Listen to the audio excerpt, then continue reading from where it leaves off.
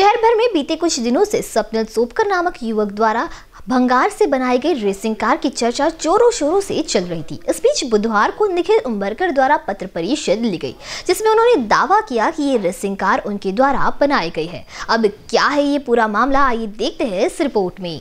बीते कुछ दिनों से शहर में स्वप्निल सोपकर द्वारा बनाई रेसिंग कार की चर्चा जोरों शोरों पर थी। हर ओर से स्वप्निल द्वारा किए गए कामों की प्रशंसा हो रही थी। इस बीच बुधवार को निखिल उम्बरकर द्वारा पत्र परिषद ली गई, जिस दौरान उन्होंने दावा किया कि ये रेसिंग कार उन्होंने बनाई है। उन्होंने बताया कि 2013 में मैंने ये कार बनाना शुरू किया था और अगस्त में उसका अधिकांश काम पूरा हो गया था, लेकिन थोड़ा काम बचा हुआ था। हालाँकि उनकी अचानक तबीयत खराब हो गई और अंततः 26 जनवरी 2018 में कार का फ़र्स्ट ट्रायल सफलता से पूरा हुआ। उन्हें कार को अपडेट कराना था। इसी बीच 2020 में उनकी ओर से वर्कशॉप लिया गया, जिसमें स्वप्निल सोपकर आया और वर्कशॉप में सीखने के दरमियान उसने निखिल से कार मांगी और निखिल ने विश्वास रखते हुए कार दे दी। लेकिन स्वप्निल ने निखिल का विश्वासघात किया और 26 जनवरी 2022 को मीडिया के सामने उसे अपनी कार के रूप में प्रदर्शित किया। मेरा नाम निखिल उम्बरकर है। आ, मैं एक ऑटोमोबाइल इंजीनियर हूँ। मैंने ये गाड़ी 2013 में आ, बनाना चालू किया था। जो मेरी तबीयत ख़राब होने के कारण मैंने वो छब्बीस जनवरी 2014 को आ, रोड पे लाई थी। जिससे वो काफ़ी पॉपुलर हुई थी। मीडिया में मीडिया में न्यूज़ में पेपर्स में सब जगह पब्लिश हुई थी गाड़ी। उसके बाद में मैं उसको अपडेट करने के लिए रखी थी गाड़ी मेरे पास। मुझे उसमें यानी आठ नौ साल पहले जो गाड़ी मैंने बनाई थी 2013 में उसको मुझे इलेक्ट्रिक गाड़ी बनाना था।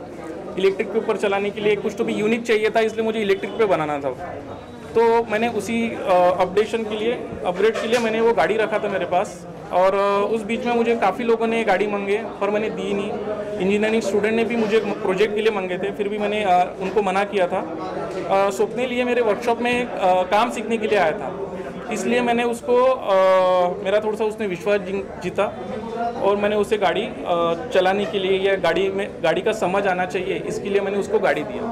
उसने गाड़ी में पेंटिंग किया सर्विस किया और उसके बाद में उसने गाड़ी 26 जनवरी 2022 को अभी रोड पे निकाली। तो मीडिया का और लोगों का ध्यान उसमें आकर्षित हुआ।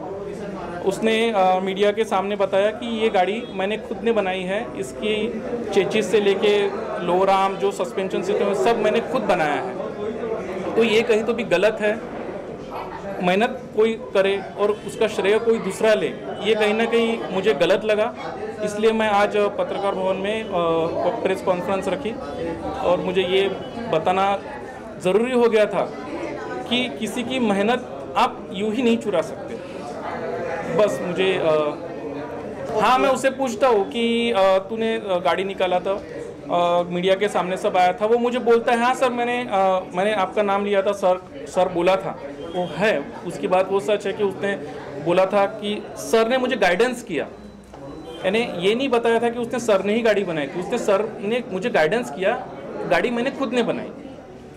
ये चीज़ों में कहीं तो भी उसने बराबर मीडिया को नहीं बताया। डेफिनेटली स्वप्निल ने मीडिया के सामने आके बताना चाहिए आ, कि ये गाड़ी 2014 में ही बनी थी आ, मीडिया में आई थी। और आ, मैंने उनसे वो गाड़ी लेके अभी 26 जनवरी को जो निकाली मीडिया के सामने मैंने आ, मैंने खुद बनाया ये झूठा मीडिया के सामने बताया। मीडिया की दिशा भूल की इस दौरान उन्होंने मांग की कि स्वप्निल मीडिया के सामने आए और इस बात को कबूल करे। कैमरा पर्सन माइकल के साथ दिशा हटवार बी न्यूज़ नागपुर।